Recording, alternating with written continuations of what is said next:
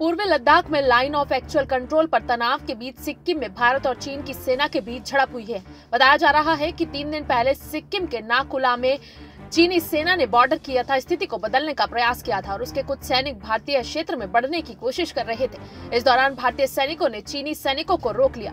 तीन दिन पहले नाकुला में भारत और चीन के सैनिक आपस में भिड़ गए। सूत्रों के हवाले से खबर मिली है कि इस झड़प में चार भारतीय और 20 चीनी जवान घायल हुए हैं।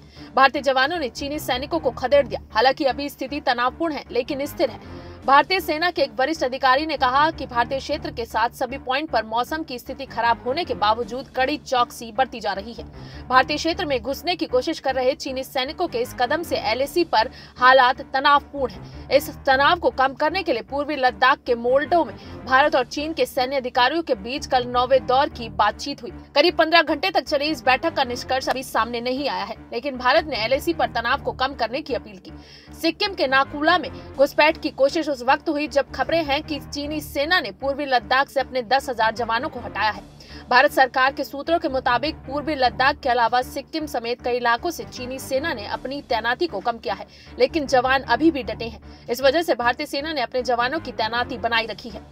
आपको बता दें कि एलएसी पर पिछले कई महीनों से तनाव का माहौल है। पंद्रह जून को पूर्वी लद्दाख के गलवान घाटी में चीनी सैनिक और भारतीय जवान भिड़ गए थे। इस दौरान 20 भारतीय जवान शहीद हुए थे, जबकि चीनी सेना के कई अफसर जवान मारे गए थे।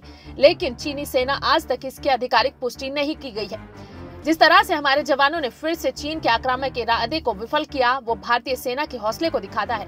दो दिन पहले ही भारतीय वायुसेना प्रमुख आर के एस भदौरिया ने कहा था कि अगर वे आक्रामक हो सकते हैं तो हम भी आक्रामक हो जाएँगे। किसी भी घटना से निपटने के लिए हमारे पास पूरी तैयारी है। Bureau report, SPN nine news.